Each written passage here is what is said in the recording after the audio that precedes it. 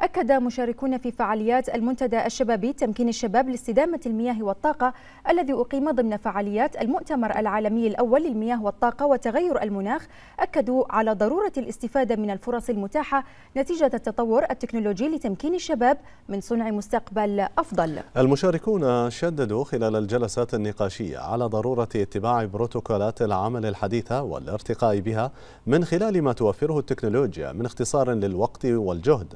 مشيرين إلى أن جيل الشباب مستعد للتطورات والتغيرات التي حدثت في العالم كله من خلال إطلاعهم ومتابعتهم لكل المستجدات والمتغيرات في العالم.